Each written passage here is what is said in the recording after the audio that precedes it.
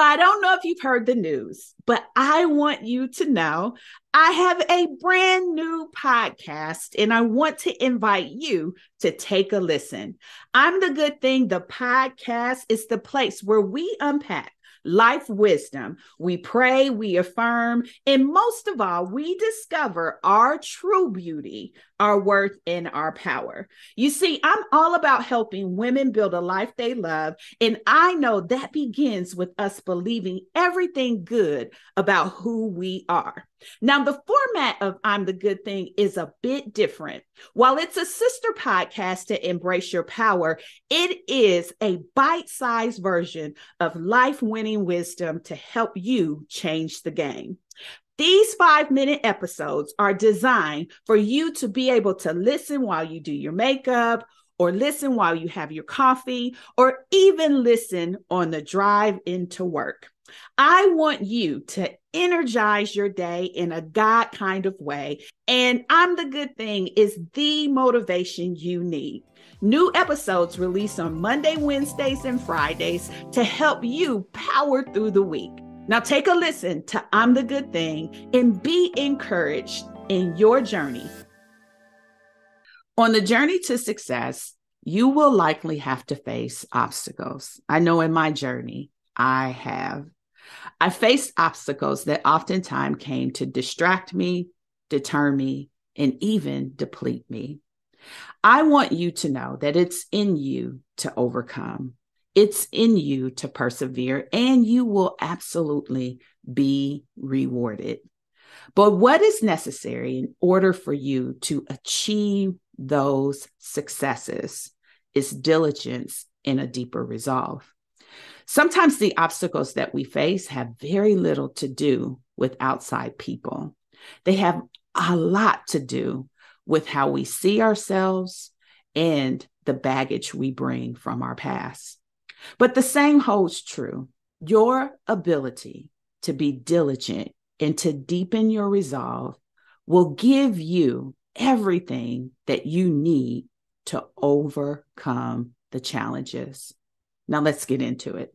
For the longest time, I secretly wanted more. I often found myself shrinking to fit in, settling for what was comfortable, and even selling myself short. Once I finally accepted that we deserve success and we are blessed with the power to achieve it, I stopped playing small. I'm serious about building a life I love, and you should be too. I'm Denise Taylor of DeniseTaylor.live, and welcome to Embrace Your Power. I help women prioritize themselves, their success, and their happiness. Now, let's meet this week's achiever whose story will inspire you to embrace your power and go. Well, hello there. It's Denise Taylor here. You know, I'm always excited to welcome you to Embrace Your Power. You see, this is the place where you can count on me to encourage you to build a life that you love.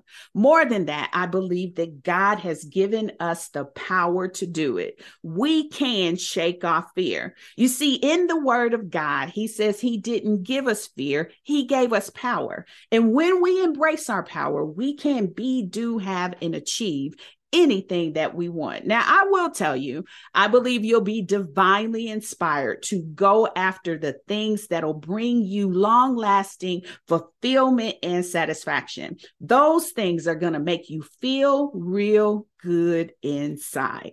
Now, I don't know if you're watching me on YouTube or perhaps you're listening on Apple Podcasts or Spotify, but this is the place where I get energized each and every Thursday because I know I'll get a chance to be connected with you. And if you haven't yet left a five star review, what are you waiting on? By all means, make that your gift back to me. You see, when you do that, you set us up to reach other people with all the good stuff going on here. Now, if you've been tuned into the podcast for the last few weeks, then you know I have been sharing conversations that I have had from the guest chair.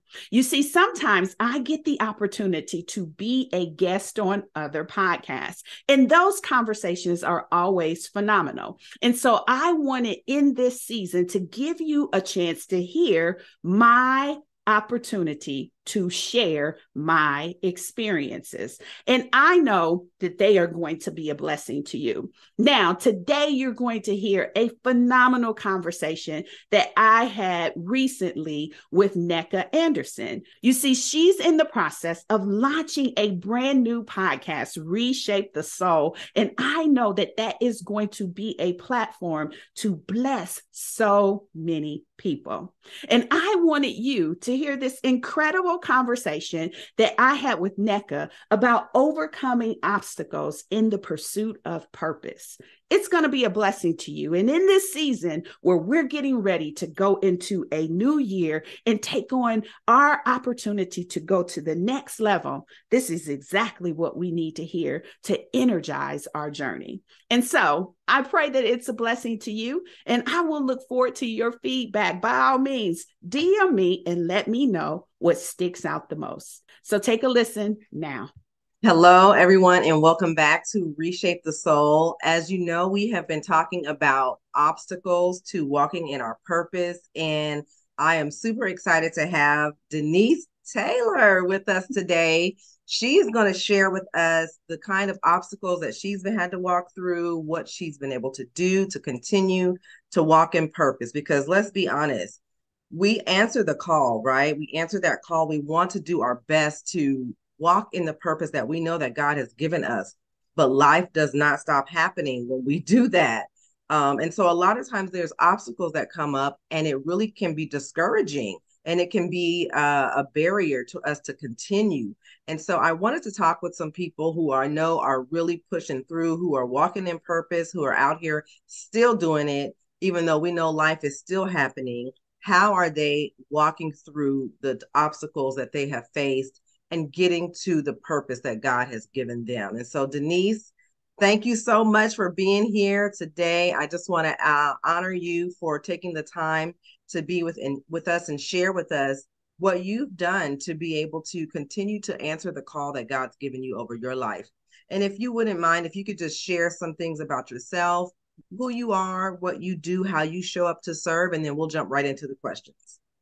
Well, you know, Nneka, I want to say thank you for inviting me. It's always a pleasure to sit in the guest seat. Yes. So I um, you know, as you were talking, I have to tell you, I'm just on an incredible journey with God. Um, I'm discovering a lot along the way. Um, where I started, it has evolved, and I'm grateful that I allowed myself to be open to the process. Um, it absolutely hasn't been easy, but I will tell you, there has been nothing like the satisfaction and fulfillment that has come from serving. So, as a context, I help women build a life that they love, right? So, for me, my initial message was around serving women in the context of relationships. And boy, has it ever evolved from there as I started serving in that whole notion of God gives you more on the way than he does at the start, he certainly did that for me. He gave me more purpose and more meaning, and he expanded the context in the focus. The seat that I sit in right now is around embracing our power. That's my favorite phrase is I want us to embrace our power. And that comes from the scripture that God hasn't given us a spirit of fear, mm. but that he's given us power. And I believe that when we embrace our power, we can be, do, have, and achieve the things that we want.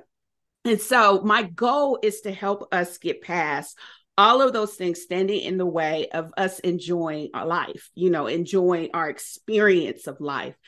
The other thing that I believe is that God really did say we could have life more abundantly. And when he said that, he meant that. And so there really isn't any limitations other than the ones that we set. So when you start talking about obstacles to walking in purpose, this is an excellent place to anchor in because some of those obstacles are the very things that keep us from experiencing the best that God wants us to enjoy. And so I just consider myself the person that's there championing us to really evolve and become who we believe God is inspiring us, divinely inspiring us to be. Amazing. Yes, that is so that is so amazing because it's really true. We are the ones who often allow those obstacles to keep us from experiencing that abundance. And it really is sometimes a skill set to learn how to release those things and overcome those obstacles, which is why it's so it's so important that we're talking to you today because we need to hear from people who are making those leaps and bounds, right? So that we don't feel alone, so that we don't feel like it's a, a lost cause or that we can we need to give up. And so just wonderful that you are in this space. And I'm so happy that you are our champion and you out here, you know, helping us understand how we can get through those obstacles.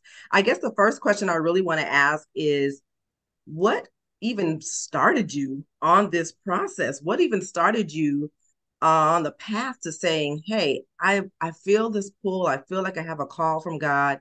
I feel like there's something that I'm supposed to be doing." How did you get started? Just answering the call from the from the beginning. So it's kind of funny because I in the fall of 2019 I had surgery and I was at home recuperating. I was home for eight weeks. And what was interesting about the time is both of our daughters were away at school, and my husband was working very crazy hours, like extreme long days. And I'm not much of a television person. Like I'll watch it from time to time. But what I really found in that eight week window, it was like I was at a silence camp. Like I was in the house, there wasn't any mm. noise, and it was really quiet. And for me, I don't think my life has ever throttled down to be that mm. still right? Because one of the things that was a trauma response for me was keeping myself busy, like always having something going, always having an agenda. And so for me to get to the point where I'm recognizing silence is a really big deal, right? And so in that stillness, I really had a sense that God was calling me to more.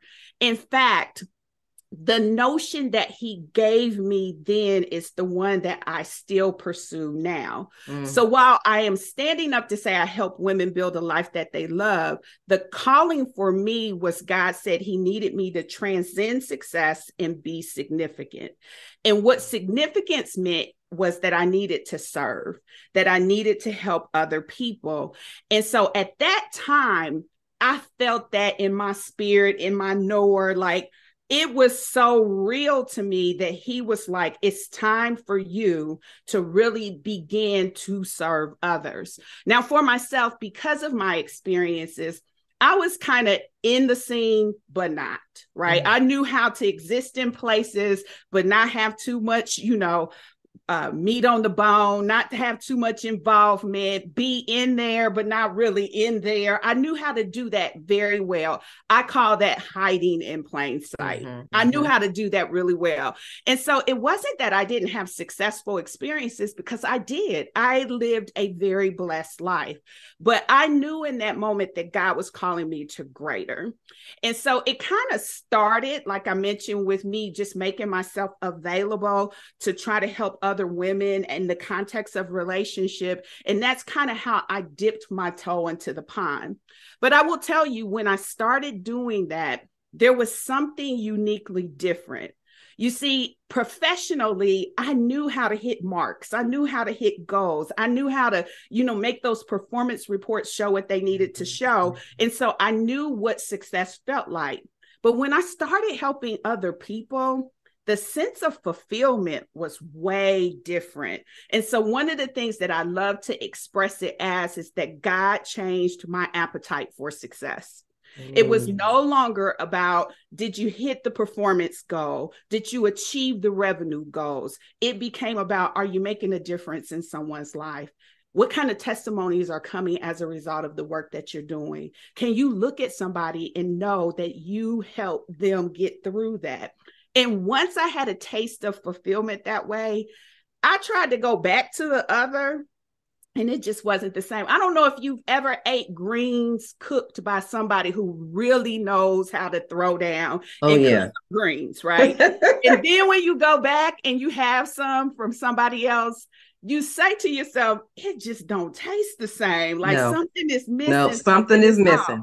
Yeah, and that's kind of how I felt when I tried to re-energize when I entered back into work after being off from leave. When I tried to go back to that same, you know, process yes. that I used to have, it just didn't feel the same. And so that was the biggest overall call if you will. And it's the one that I'm still in fast pursuit of, right? Because God has really impressed upon me the necessity to be significant in the lives of others. And that means being seen, being heard, and showing up with life changing resources. Woo, that woo. that is that's a lot because I heard so many nuggets in there about one, first of all, yes, significance, changing that mindset from the just being successful, but really being significant, and then recognizing your own significance. I will have to say that that was part of my journey as well. I had to really get in touch with the fact that I, first of all, already had significance in God without performance. And then I could show up in the way that you were talking about you know, I did that hiding in plain sight thing, you know, where it's like I'm I'm dipping my toe in, like you said, I'm dipping my toe in the water. Mm-hmm. So I'm there, my name is on the roster, but it's really not on the roster the way it should be. It's like way down here, but really, you know, deep inside of you, you you have the potential to show up in in a greater way. And so that is amazing just being able to talk about how you are showing up significantly now i had to write this down you said god helped you to change your appetite for success mm-hmm.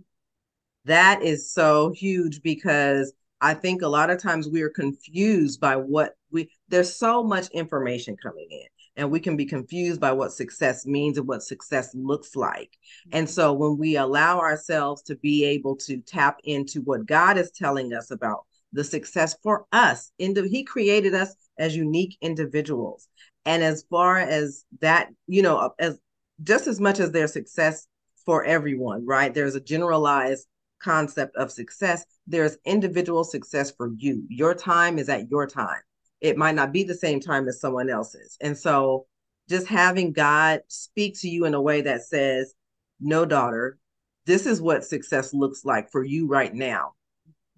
And then tomorrow I'll let you know what success looks like for you to that on that day, you know, just tapping into being able to hear God speak to you in a way that you allowed that to change your appetite for success is is huge. That that was really um a great point. So I had to write that one down. Um, I guess my next uh, question would be what kind of obstacles did you have to face or have you faced or you know if you would like to share are facing even now that you continuously have to uh, make a decision i guess i would say to overcome those obstacles to continue to walk in the purpose that god's given you so I was thinking about this a lot, you know, because I want to be real intentional about the journey towards purpose and what kind of stood in my way. I met a lot of obstacles, but the ones that I would call out the most was limiting beliefs. Um, my traumatic background really made me think very low of myself. And as a result, it didn't matter that the achievements were happening. It still didn't make my confidence grow in a way that made me feel assured. And so, overcoming limiting beliefs is something that I still work at now. Like, I had to train myself how to go after them. And the biggest way has been me beginning to see myself the way God sees me what's interesting about this is earlier this week I was on a CEO panel, right? And, and the interviewer asked me my thoughts around faking it to make it. Mm-hmm. And my response to her was conceptually, I understand what they're saying, but in my case, I lean into the truth of who God says I am, and there's nothing fake about that. That is truth. And so as a result, I'm not faking anything. I am who God says I am. And so mm. when I war against the perspective of not being good enough, or I war against the perspective of, of not being valued or not being worthy, and all of those things that really crash in to make you feel as though you don't belong or that you are a fraud in some sense, I combat those with who God says I am. So when I show up saying I'm more than a conqueror, I'm not saying that to boast. I'm saying that because that's what God said about me. When I show up to say I'm fearfully and wonderfully made, I'm not saying that to boast. I'm saying that because that's what God says about me. And as a result, it helps to diminish the impact of those limiting beliefs. But here's the thing we have to remember Whatever got to us first became our truth, even if it was a lie. And so those limiting beliefs got to me first as a result of the experiences that I had. And now I have to spend time uprooting those lies so that the truth can come in. And that is a daily process for me. So, what does that look like? That looks like reminding myself what God says about me. That looks like affirming the things and the truths that He says in His Word about me, believing Him at a greater degree, making sure that I protect my ear gates and my eye gates so that that I'm not consuming things that feed into those lesser perspectives of who I am. And so that was one of the first obstacles. The next obstacle is one that I um I really had to reconcile within myself. And I'm not sure that I'm completely clear why I struggled with it. But when you look at my family history, we are a long time like legacy of entrepreneurs but it was mm. something that I ran from as fast as I could. I just did not want to be considered an entrepreneur. It was almost like I was giving up my birthright. Like I'm giving up the very thing that has been a mainstay in my family. And I'm not exactly sure why. I'm sure it has something to do with a lot of the familiar experiences that I had and how they kind of fed into some of the upbringing challenges that I faced. But I had to reckon with the fact that that's in me. That's mm-hmm. a part of my DNA. That's who God graced our family to be. And there's a blessing in it for me. And so, for as much as I fought it off, the obstacle was I refused to accept it as a truth. And so, I'm working towards that. And I'm getting better with it of actually saying I'm an entrepreneur because I wouldn't even say that before. And then finally, the last one and this is something you may relate to it kind of feeds into the, that whole stop uh, hiding in plain sight but i had to get over the fact that i just didn't want to be bothered right yeah. you know um I had experiences with people. I had disappointments with people. They let me down. I had hurts. I had all of these things from relationships with people. And I had created this perspective in my mind that I just did not want to be bothered. Now, if we go back to what God said for me to do, which was be significant, that meant I was going to have to create some relationships with people. And so I had to get past that long standing boundary that I had. Now, the one thing that's important about boundaries is I believe that they're ne- necessary for a period of time. They are a great protective mechanism, but until you remove the boundary some to see if you've healed enough to actually te- step into that space, the boundary can keep you bound. Mm. And so the boundary of me saying I didn't want to be bothered probably was legit at one point in time, yeah. but chances are it outlived its stay. And I had healed and matured enough that I could eliminate that and really seek relationship. So, one of the things that I know to be true is that God created us for a relationship. And when we fight against that, we are fighting against where our blessing lies. God said He's going to have men bless your bosom, which meant that you're going to have to have relationship with people and for mm-hmm. in order for the blessing to come to you. And so those probably are the three like obstacles that I really had to fight. And all of them was in me. None of those obstacles had to do with anything on the outside of me, anything that was rising up against me. It was all an internal struggle. You know what? When you talked about the limiting beliefs and and call them out as lies, that is that was really um, powerful because I think that's really what we fail to see is that just because it's something that we believe, it doesn't mean that it's true. It doesn't mean that it has any weight in the in the kingdom of God and how God sees us and how God created us and wants us to develop. And so calling them out as actual lies, first of all, gives us the opportunity to be able to say, well, you know what? If it's a lie, that means I can reject it. Mm-hmm. That means I don't have to accept it. That means I don't have to continue to operate in it and walk in it and listen to it and allow it to direct me and you know show up and just and and allow it to take up space in my world without having some kind of rebuttal for it. And so calling that out like these limiting beliefs uh that to me that's sometimes it's really a euphemism for this is just a flat out lie now, the lie could have been planted there, like you said, because of experiences that we had. And I I shared that with you and that early on, very early on, experiences taught me what to think about myself. Mm-hmm. But those teachings were not true. And so the only way to combat those teachings was to go to the one and ask him, well, what, who, what, what, who am I and what am I and what do you think about me and what do you say about me? and then replacing that lie with the truth is how you you know make progress to walking out of that and so that is so powerful that first of all we got to get rid of those lies we got to uh, we have to uh, confront them as lies uh, to in the beginning and, and to really address them as a lie. Then you said that you didn't want you didn't want to be bothered. And i had to I had to chuckle a little bit on that one because I was like, ooh, the conviction, because that is where I was also.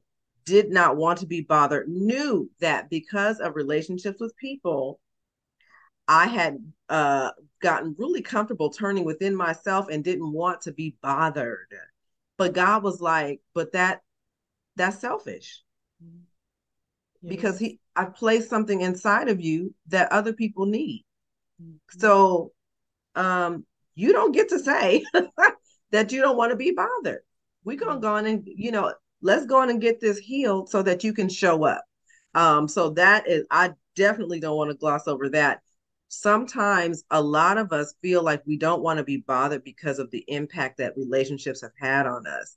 And that is truly an obstacle, particularly if you're in the space of helping other people heal in some form or fashion so that they could do the thing that God has told them to do. Mm-hmm. Definitely, that's going to be an obstacle for you is that you're not going to want to be bothered. You're not going to want to show up fully in the way. Uh, and when you feel that, that should be an indication that, oh, this is this is something that the enemy is trying to do because I know I'm supposed to be showing up. I just don't feel like it, you know, and I'm really behaving based on the pain that I've experienced before. So that was super powerful. I really appreciate you bringing that out. Mm-hmm. I know you've kind of talked about it already a little bit here and you know there you've intertwined you've laced it in in into the, your your uh, responses before, but I really want to get to some of the strategic things that you do um, when it comes to overcoming these obstacles? And and is it something that you do as a daily practice? Is it something that you just kind of keep running in the background now? How do you approach and recognize okay this is something that's trying to knock me off my game. Mm-hmm. i need to address it with this. So i'll add a couple of other things that i do. So I talk a lot about the success superpowers, right? And and the fourth success superpower is take care of you. And the mm. unfortunate thing that we have not been taught is to how is really how to take care of ourselves fully, right? We have relegated take care of you to going to the nail salon and getting a manicure and getting a yeah. pedicure. Yeah. And while I am a nail girl, there is far more to me than just my toes and nails. And so, one of the things that I'm very intentional about is forging the relationships that's going to help the total package of Denise. So, what does that mean? That means I have a mentor relationship, someone who is encouraging me to rise and go to the next level, serving as an example and almost as iron sharpening iron. When, when I come into her presence, I feel cut every time because she is calling me to a higher degree, a higher standard. And for me, I've been real intentional about making sure that person is calling me to a higher standard in God, yes. like calling me to a higher standard of spirituality. And so that's a very prized seat for me because I have so many other like capabilities and talents otherwise. I want to make sure that the person who's sitting in the seat to mentor me has that as a primary objective and role. Another thing I'm real intentional about is a life coach. Some people go for therapy. I have a life coach. Finding a place where I can really unpack what's going on in my mind is a very prized relationship. And because I had that, I don't want to be bothered attitude for so long, I discounted how powerful it was. And my biggest regret is that I did not forge this relationship far sooner in my life. I have made exponential strides because I have lifted that burden and weight of things that I was secretly carrying within myself. Yeah. The one thing about being seen, heard, and showing up is that it's going to make you begin to really assess your authenticity. And I had some things that I had to deal with that was going on within me. And I just kind of turned a blind eye to them. I, I was real good at compartmentalizing. And so part of taking care of me is really taking a, a like a true look at myself and saying, what do you need to work through?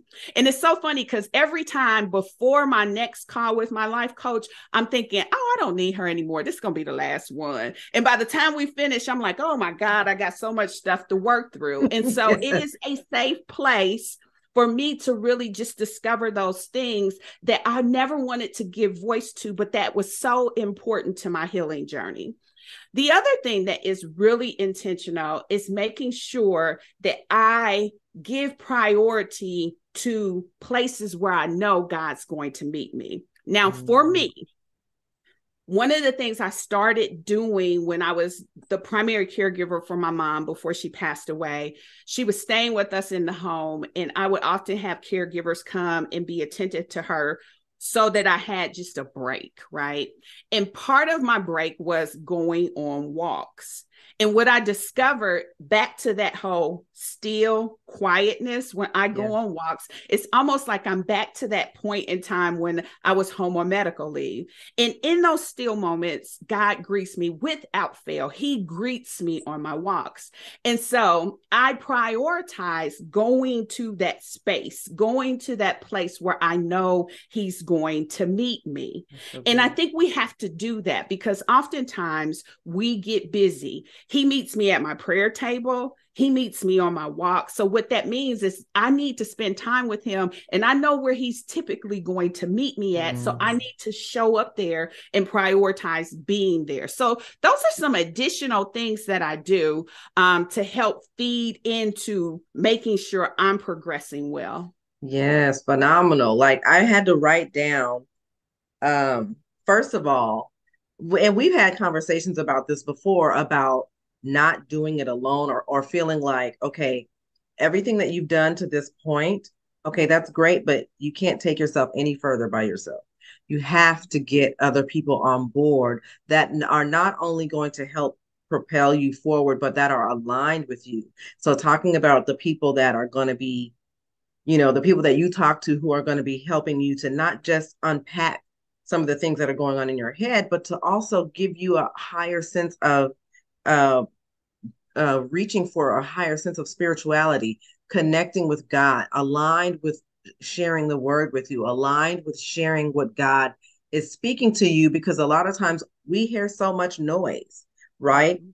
For ourselves, you know, being able to decipher it, it's too much. We need someone from the outside to come in and speak calm, speak peace, speak love, speak truth that we can't hear at the moment because we have so many things going on in our head. And until we unpack that and find someone who's aligned with us to be able to do that, that is what really helps to propel us forward. So that's phenomenal that you you you call that out as something that you make sure that you you do. You get a coach on board. You get a therapist on board. You know like and same you know i am a proponent of therapy and coaches obviously. And so i really feel like that's when god told me sweetheart you've done you've done a work but you can't do the rest you have to get someone on board and so really having that as a strategy, I think is irreplaceable. You absolutely have to have that. And then you talked about giving priority to the place where you know God is going to meet you.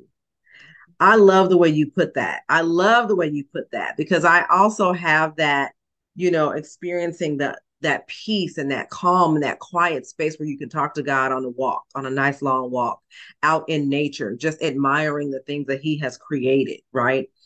Giving yourself the time and space to silence your soul and get in tune with the voice of God and allowing Him to speak to you is so incredibly powerful because you need the strength and that truth that comes straight from the Father in order to continue sometimes because again like we said life be life and just because you on purpose doesn't mean that you're exempt from the things that are going to go on in life. And so prioritizing like you that is so i love the way you put that prioritizing the the space and the place where you know that god is going to meet you.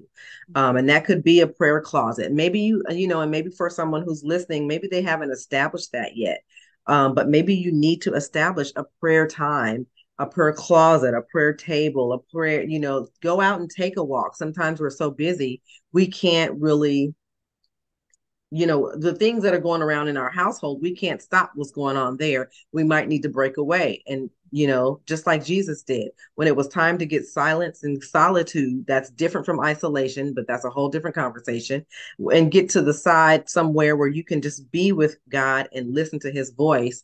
Um, allowing yourself to do that is so important and and going to be such a strengthening and powerful tool. So really appreciate you pointing that out. Um, I just have to say that your tools, what you've shared with us, the obstacles that you have shared with us. Thank you for being so vulnerable and sharing them with us because I feel like it's a lot of us. A lot of us have, and especially with the communities that we tend to draw, that we are drawing women who have experienced trauma. They maybe have experienced, and that trauma maybe has come at the hands of someone else, some sort of abuse or some sort of um, relationship that broke down or or loss of a relationship something that caused them to have some kind of traumatic response. And a lot of times those are the the catalysts for the limiting beliefs and the lies that we start to believe about ourselves to believe about what we're capable of to believe about what we have access to. And so being able to share this in a way that points really it all back to God and how He has given us the abundance and made it available to us um, is just so incredible. And I just want to thank you for sharing your vulnerability with us, sharing your tools and what you do and your strategies. I know it's going to be a blessing um, to everyone listening. And so, if you can just share with us more about how we can connect with you, what work you're doing right now that we might be able to get in on and tap into what's going on that you might be able to um, be accessed by some of the people who are listening. So, you know, all things point back to my website, which is denisetaylor.live. Um, I have a pretty robust digital footprint, but Facebook is my playground. That's where I tend to show up most. So I'm on Instagram, I'm on LinkedIn, I'm on TikTok. I will tell you, I avoid Twitter just because it just seems like a beast, and I just am not ready to take that on. Um, but pretty much everywhere else, you can find me with Denise Taylor Live or Denise Taylor Live. Um, in terms of like what's going on for me now is I'm in the midst of open enrollment for my mentor program. It's a 60 day empowerment program it's called Power Play. Um, and in that 60 day journey, it really is about embracing our power. As I said before, I believe that God has given us power, He hasn't given us fear. And my whole goal is to help you navigate through the fear that you feel and begin to show up in the ways that you know God is impressing you to do. Um, and so that journey, uh, the next cohort is in February and March. I offer it three, tw- three times a year, um, but we're in open enrollment and so I invite anyone to go to my website and take a look at that. I have two podcasts, believe it or not. Embrace Your Power is one, and I'm the Good Thing is the other. Um, both of those go after two perspectives that I think is really important when it comes to building a life that you love. I'm the Good Thing is five minute episodes three times a week that really is looking to energize you in a God kind of way with life wisdom. I consider those things that you can listen to while you're putting your makeup on or drinking your coffee or on your drive into work. It really is trying trying to help us get that notion and see ourselves the way God sees us. Mm. And in, embrace your power and go as lifting up stories of achievers who have overcome so that we can see that we can do it too. And so those two kind of make up the whole. And I invite anyone to take a listen to those. They're available wherever podcasts are are are uh, pretty much you know out there. So I invite you to to listen in. And Nick, I'm so glad. I'm so glad one to see you stretching, uh, lifting your voice. It's a necessary thing. Uh, there are people who are waiting to hear you, and the key thing is there's life in your voice. So continue to press forward. And I am so excited about this new platform that you have here for Reshape the Soul. It's going to be a blessing for years to come, and I'm just glad to be uh, one of your early guests but yes. I know that there will be many more to follow. Thank you. Thank you so much. I am honored that you would share those words of encouragement with me. Um, I truly believe that it is part of the the growth that we've had is that yes, you have to step out there. You have to continue to do what God has called you to do. Just step out there. You know, that would be my encouragement. Just step out there. Don't worry about it being perfect. Don't worry about it being, uh, don't compare. You know, sometimes I have to get on social media and get off because of the comparison thing. And so I would encourage anyone who's listening who is struggling because they feel like I have so many things that keep blocking me. I feel like I'm blocked at every turn. Well, that's strategic. So, what do you do? You answer that with strategy. And part of the strategy is some of the things you just heard today get in that prayer closet, get some time alone with God, get to that place where you know He's going to meet you, cry out in honesty, and then do the thing. Don't worry about what it looks like to someone else because your father will applaud you. And I just want to thank you again, Denise, so much for being here. I'm super excited about releasing this because I know a lot of people need it. This came straight from, this was a download straight from God that I needed to share with people obstacles and the strategies to overcoming those obstacles. So again, thank you for sharing yours and everyone get over to her website and and check out the things that she's got going. Listen to her podcast. They are true nuggets every time. Um, so again so honored to have you today and we'll look forward to talking to you soon. All right. Thank you so much. Bye Bye. Well, that's it, beautiful. Thank you for tuning in. Don't ever forget that you are truly blessed with life, love, and all the happiness your heart can hold. Be relentless in building a life you love without apology. I'm Denise Taylor, and you can always find me in our free Facebook community. It's Embrace Your Power easy to find. Now, be sure to rate and review this podcast and share it with a friend. And make sure you subscribe so that we can stay connected each week. And remember, God has not given us a spirit of fear, He gave us power. So be sure to always embrace your power and go.